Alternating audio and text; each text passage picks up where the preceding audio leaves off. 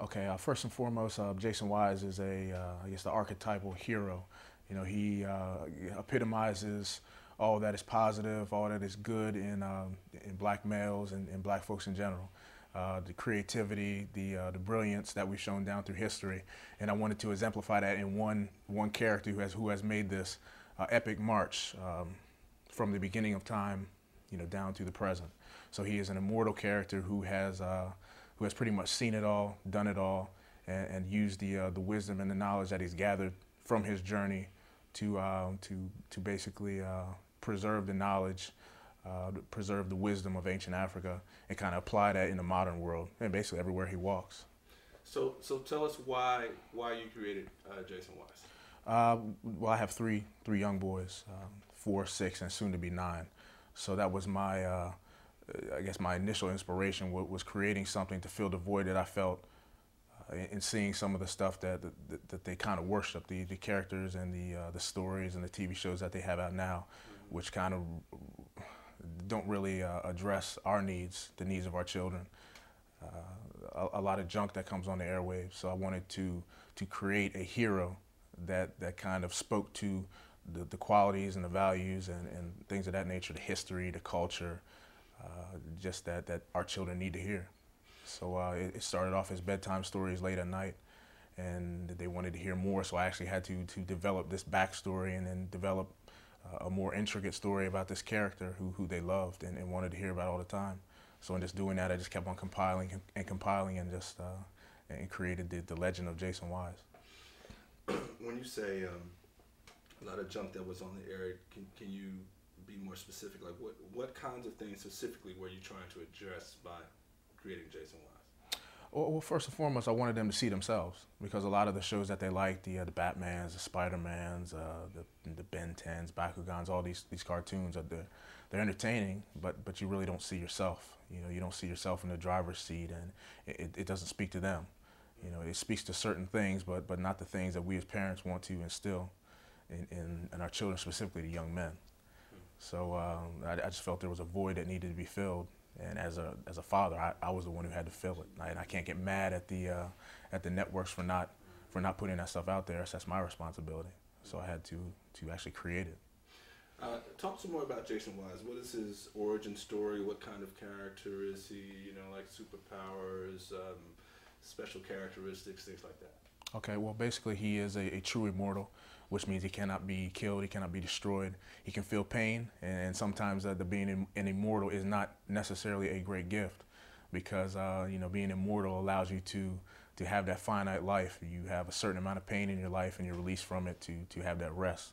He doesn't have that, so he experiences the pain of, of a normal person, but magnified by a hundred, a thousand, you know, because he's that immortal. Uh, his, his truest power is, is really not a power, something that we all have. It's the power of, I call it ultimate potential. He can achieve anything that he wants if he believes that he can do it. So if he sets his mind to doing something and truly believes in himself, studies, works hard, then he's able to achieve that. He just has that ultimate confidence in, in traveling down from, from ancient times, uh, from the, the land of Kush, which is, of course, the first nation on record. Uh, he is a, the, the, last son of Kush.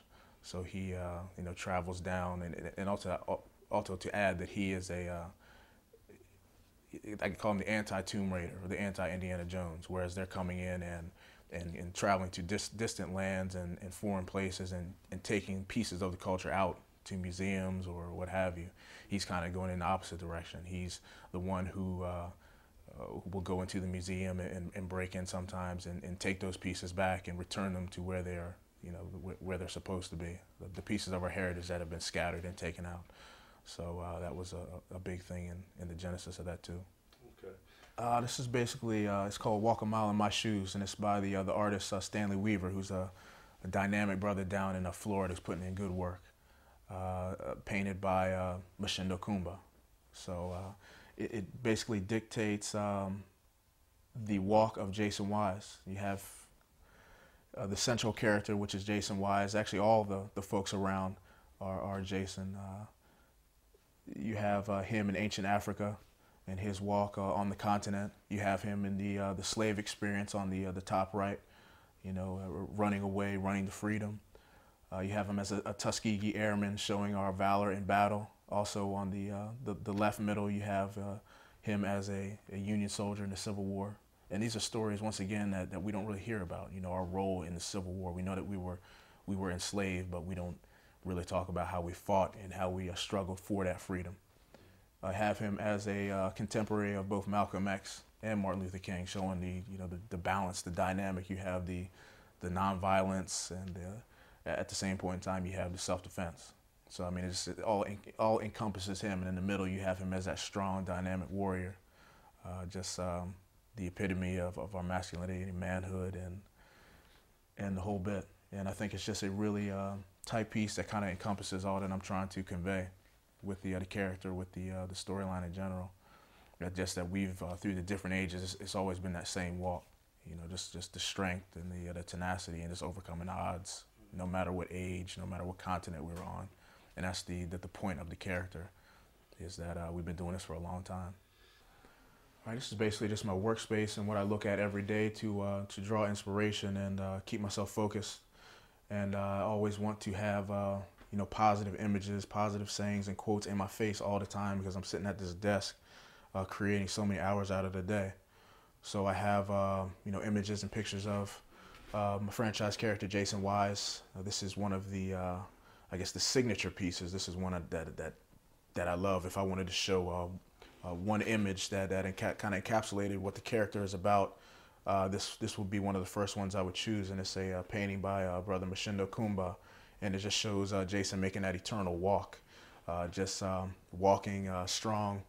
And uh, on the African continent, you see he has the uh, the evil is always looming behind him in some shape, form, or fashion, but he's uh, walking with a purpose and strength and and kind of using that knowledge and wisdom as his weapons, in in addition to the physical weapons, but just always making that walk. Evil is always a few steps behind him. So uh, another piece that uh, is one of my favorites is uh, this piece here, uh, which is by the artist Chris Bourassa, who's up in Canada. And this is um, showing the aspect of Jaycen Wise as a scholar, uh, archaeologist, explorer, always trying to uncover pieces of our past that have been lost. And um, representative of the knowledge that he is always uncover uncovering and trying to, uh, to share as he, as he makes that walk. Over here we have some conceptual uh, re reference photos that I use for some of the other characters. This is a sister uh, uh, African uh, Dahomean warrior uh, by the name of Dossouye, which is a, novel that I published uh, from the author Charles Saunders, who's a well-known and legendary author out of Canada, who writes a brand of fiction we call Sword and Soul, as opposed to Sword and Sorcery, which is Conan and Red Sonja and that type of thing. We have Sword and Soul, which once again speaks more to us our experience and our culture. And um, I guess that's it. Um, what about this, this, this, cat with the lion? Uh, ah, okay. This is Jaycen Wise, um, as he would have appeared in the ancient in the uh, the kingdom of Kush, which is once again one of the first, if not the first, uh, kingdoms on record. African kingdom that was uh, originated and centered in in the Sudan, and we have him in his ceremonial garb with his uh, right hand man, so to speak, a Apedemak, which is the uh, the giant Nubian lion, which is the uh, the Kushite god of war. So that's a uh, a constant companion and ally of Jaycen Wise, and uh, they run tight together. I mean, let's let's get as much as we can, man. Okay. You know what I mean? Um, the uh, the Jaycen Wise in front of the the, the car. Okay. This is a promotional piece for a uh, comic and also a, a motion comic that uh, Brother Mshindo Kuumba and I are working on, uh, Jaycen Wise and the Secret of the Rose, which is a, a story that uh, puts Jaycen Wise in the in the Alps, in the, uh, same region where uh, Hannibal the Great fought the Battle of Trebia, the, the, infamous Battle of Trebia, where he defeated the Romans, outsmarted them. So this puts Jaycen in that area, and he's on a mission to recover a, a, a, lost artifact that's being hidden in a in a castle uh, called uh, the Rose Garden or Roseto. So it's a uh, something that we're excited about, and that should be dropping in the late spring. Um, some of these things you were talking at first about the sayings. Uh, okay, sure. towards the, the bottom, and you can drop your laptop down. Maybe? Sure. Okay. You want to talk about any of those?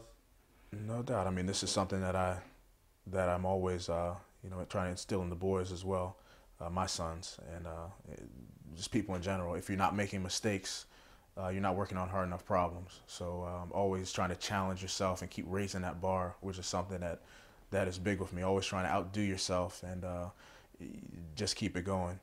Um, whatever I can imagine I can do, which is a uh, quote from one of my uh, great inspirations, uh, George Lucas, who's uh, the, the, master at kind of pushing that bar and, and bringing in new technology, new ideas, and just, just pushing it forward. Um, Let your hands and feet be your sword and spear. Let your hands and feet be your sword and spear, your quickness, your shield. That's actually a quote from uh, one of the novels that I published with uh, Charles Saunders uh, called Imaro. And that's, uh, that's something that is a theme that's prevalent in uh, Jaycen Wise as well. Uh, basically, not necessarily de depending on the physical weapons, but everything you need to tackle anything. You know, your hands, your feet, your mind, you know, your heart.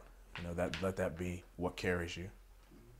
Uh, this one below, uh, the you have the Jaycen Wise with the the pistol, with like a silencer on it, and then the one below that. Okay, this is just a uh, a promotional piece. Uh, say a piece done by the artist Charlie Fab, who's down in North Carolina, and colored by uh, the artist James Mason, or Mace as we know him, uh, who's out of Atlanta and that that's the the special operative uh, version of Jaycen. He has so many different faces. You know, he's uh, uh, he gets down and dirty with the special ops. He's a uh, a warrior, a, a, teacher, an explorer. But this is one that people uh, you know kind of gravitate towards too. That James Bond, that's slick with the technology and the the ultra ultra cool weapons and gadgets.